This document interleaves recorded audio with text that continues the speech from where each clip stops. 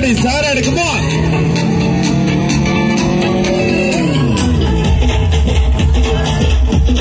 Gents लोग थोड़ा right hand side में प्लीज़